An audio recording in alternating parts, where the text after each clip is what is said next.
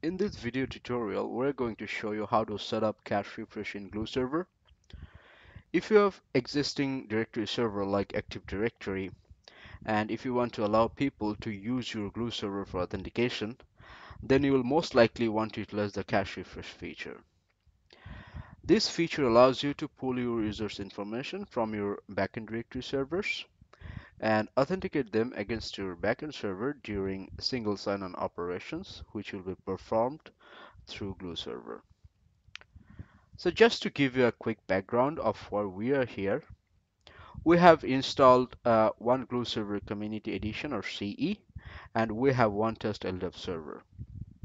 We're going to show you how to connect this uh, Gluu Server CE with that backend LDAP server uh, there are around 100 test users there in our backend uh, LDAP server, and we'll perform a couple of tests with one of our backend directory user whose uh, username or UID is uh, glue tester.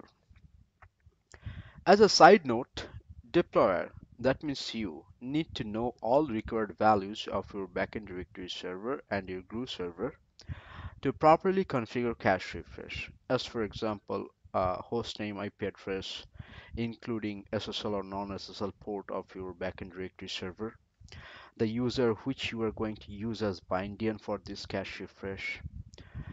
Sometimes you need to know the full tree information of your bind DN user uh, as well as required passwords, object classes, detailed information of backend directory server's attribute, etc. If these informations are not available to you, it will be uh, really hard to set up cache refresh properly. The bottom line is person who is configuring the cache refresh need administrative privilege in Gluu server and at least know various parts of his or her backend directory servers.